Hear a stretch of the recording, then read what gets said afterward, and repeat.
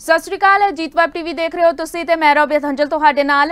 ਜਲੰਧਰ ਜਿਮਨੀ ਚੋਣਾਂ ਨੂੰ ਲੈ ਕੇ ਅਖਾੜਾ ਪੂਰੀ ਤਰ੍ਹਾਂ ਪੱਕ ਚੁੱਕਿਆ ਹੈ। ਸਾਰੀਆਂ ਪਾਰਟੀਆਂ ਦੇ ਵੱਲੋਂ ਆਪਣੇ ਉਮੀਦਵਾਰਾਂ ਦਾ ਐਲਾਨ ਕੀਤਾ ਜਾ ਚੁੱਕਾ ਹੈ। ਸਭ ਤੋਂ ਪਹਿਲਾਂ ਕਾਂਗਰਸ ਪਾਰਟੀ ਦੇ ਵੱਲੋਂ ਆਪਣੇ ਉਮੀਦਵਾਰ ਦਾ ਐਲਾਨ ਕੀਤਾ ਗਿਆ। ਉਸ ਤੋਂ ਬਾਅਦ ਵਿੱਚ ਆਮ ਆਦਮੀ ਪਾਰਟੀ ਦੇ ਵੱਲੋਂ ਉਮੀਦਵਾਰ ਚੋਣ ਮੈਦਾਨ ਵਿੱਚ ਉਤਾਰਿਆ ਗਿਆ ਤੇ ਇਸ ਦੇ ਨਾਲ ਹੀ ਸ਼੍ਰੋਮਣੀ ਅਕਾਲੀ ਦਲ ਤੇ ਬਸਪਾ ਦੇ ਵੱਲੋਂ ਸਾਂਝੇ ਉਮੀਦਵਾਰ ਦਾ ਐਲਾਨ ਕੀਤਾ ਗਿਆ।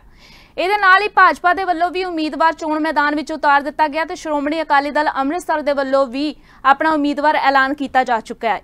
ਇਹ ਸਾਰੀਆਂ ਪਾਰਟੀਆਂ ਦੇ ਵੱਲੋਂ ਉਮੀਦਵਾਰ ਐਲਾਨਣ ਤੋਂ ਬਾਅਦ ਵਿੱਚ ਹੁਣ ਚੋਣ ਅਖਾੜਾ ਜਿਹੜਾ ਪੂਰੀ ਤਰ੍ਹਾਂ ਪੱਕ ਚੁੱਕਿਆ ਹੈ।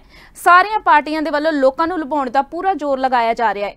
ਜਲੰਧਰ ਜਿਮਨੀ ਚੋਣ ਨੂੰ ਲੈ ਕੇ ਨਿਤ ਨਵੇਂ ਉਤਾਰ ਚੜਾਅ ਵੀ ਦੇਖਣ ਨੂੰ ਮਿਲ ਰਹੇ ਨੇ। ਇਸੇ ਕੜੀ ਤਹਿਤ ਪੰਜਾਬ ਕਾਂਗਰਸ ਨੇ ਆਮ ਆਦਮੀ ਪਾਰਟੀ ਨੂੰ ਵੱਡਾ ਝਟਕਾ ਦਿੰਦੇ ਹੋਏ ਆਪ ਦੇ ਵਿੱਚ 5 ਦਿਨ ਪਹਿਲਾਂ ਹੀ ਸ਼ਾਮਿਲ ਹੋਏ ਕਰਤਾਰਪੁਰ ਦੇ ਸਾਬਕਾ ਕਾਂਗਰਸੀ ਵਿਧਾਇਕ ਤੇ ਜਲੰਧਰ ਜ਼ਿਮਨੀ ਚੋਣ ਦੇ ਵਿੱਚ ਕਾਂਗਰਸੀ ਉਮੀਦਵਾਰ ਕਰਮਜੀਤ ਕੌਰ ਚੌਧਰੀ ਦੇ ਭਤੀਜੇ ਸੁਰਿੰਦਰ ਚੌਧਰੀ ਨੂੰ ਦੁਬਾਰਾ ਕਾਂਗਰਸ ਦੇ ਵਿੱਚ ਵਾਪਸ ਕਰਾਉਂਦੇ ਹੋਏ ਵੋਟਾਂ ਤੋਂ ਪਹਿਲਾਂ ਆਪਣੀ ਸਥਿਤੀ ਨੂੰ ਹੋਰ ਜ਼ਿਆਦਾ ਮਜ਼ਬੂਤ ਕਰ ਲਿਆ ਹੈ।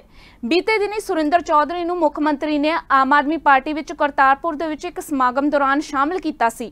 ਸੁਰਿੰਦਰ ਚੌਧਰੀ ਨੂੰ ਪਾਰਟੀ ਦੇ ਵਿੱਚ ਦੁਬਾਰਾ ਵਾਪਸੀ ਕਰਵਾਉਣ ਤੋਂ ਬਾਅਦ ਵਿੱਚ ਪੱਤਰਕਾਰਾਂ ਦੇ ਨਾਲ ਗੱਲਬਾਤ ਕਰਦੇ ਹੋਏ ਪ੍ਰਤਾਪ ਸਿੰਘ ਬਾਜਵਾ ਨੇ ਕਿਹਾ ਕਿ ਟਕਸਾਲੀ ਕਾਂਗਰਸੀ ਪਰਿਵਾਰ ਦੇ ਮੈਂਬਰ ਦੀ ਘਰ ਵਾਪਸੀ ਹੋਣੀ ਪੰਜਾਬ ਕਾਂਗਰਸ ਲਈ ਵੱਡੀ ਰਾਹਤ ਵਾਲੀ ਗੱਲ ਹੈ। ਸੁਰਿੰਦਰ ਚੌਧਰੀ ਚਾਹੇ ਆਪ ਵਿੱਚ ਸ਼ਾਮਿਲ ਹੋਏ ਸਨ, ਪਰ ਉਹਨਾਂ ਦਾ ਦਿਲ ਕਾਂਗਰਸ ਦੇ ਲਈ ਹੀ ਧੜਕਦਾ ਰਿਹਾ ਹੈ ਉਹਨਾਂ ਨੇ ਪਾਰਟੀ ਦੀ ਮਜ਼ਬੂਤੀ ਅਤੇ ਪੰਜਾਬ ਨੂੰ ਬਚਾਉਣ ਦੇ ਲਈ ਆਪਣੇ ਸਾਰੇ ਮਤਭੇਦਾਂ ਨੂੰ ਭੁਲਾਉਂਦੇ ਹੋਏ ਪਾਰਟੀ ਵਿੱਚ ਵਾਪਸੀ ਕੀਤੀ ਹੈ।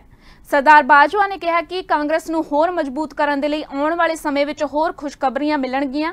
ਬਾਜਪਾ ਨੇ ਰਾਜ ਦੀ ਕਾਨੂੰਨ ਵਿਵਸਥਾ ਨੂੰ ਚਿੰਤਾਜਨਕ ਕਰਾਰ ਦਿੰਦੇ ਹੋਏ ਕਿਹਾ ਕਿ ਰਾਜ ਦੀ ਕਾਨੂੰਨ ਵਿਵਸਥਾ ਆਮ ਆਦਮੀ ਪਾਰਟੀ ਦੀ ਸਰਕਾਰ ਦੇ ਕੋਲ ਕੰਟਰੋਲ ਨਾ ਹੋਣ ਦੇ ਕਰਕੇ ਲੋਕਾਂ ਦਾ ਡਰ ਦੂਰ ਨਹੀਂ ਹੋ ਰਿਹਾ।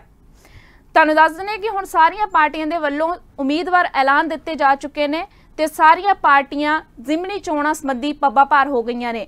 ਇਹਨਾਂ ਪਾਰਟੀਆਂ ਦੇ ਵੱਲੋਂ ਲੋਕਾਂ ਨੂੰ ਲੁਭਾਉਣ ਦੀ ਪੂਰੀ ਪੂਰੀ ਕੋਸ਼ਿਸ਼ ਕੀਤੀ ਜਾਵੇਗੀ। ਕਿਹੜੀ ਪਾਰਟੀ ਜਲੰਧਰ ਲੋਕ ਸਭਾ ਸੀਟ ਉੱਤੇ ਬਾਜੀ ਮਾਰੇਗੀ, ਇਹ ਤਾਂ ਹੁਣ ਆਉਣ ਵਾਲਾ ਸਮਾਂ ਹੀ ਦੱਸੇਗਾ। ਫਿਲਹਾਲ ਇਹਨਾਂ ਸਾਰੀਆਂ ਪਾਰਟੀਆਂ ਦੇ ਵੱਲੋਂ ਲੋਕਾਂ ਨੂੰ ਲੁਭਾਉਣ ਦੀ ਪੂਰੀ ਕੋਸ਼ਿਸ਼ ਕੀਤੀ ਜਾ ਰਹੀ ਹੈ ਤੇ ਲੋਕਾਂ ਨਾਲ ਦਾਅਵੇ ਵਾਅਦੇ ਵੀ ਕੀਤੇ ਜਾ ਰਹੇ ਨੇ, ਜੋ ਕਿ ਹਰ ਪਾਰਟੀਆਂ ਕਰਦੀਆਂ ਹੀ ਨੇ।